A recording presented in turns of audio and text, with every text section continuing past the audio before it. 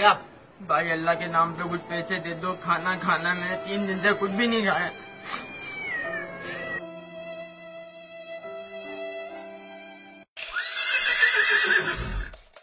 पचास रुपए खुले हैं तेरे पास?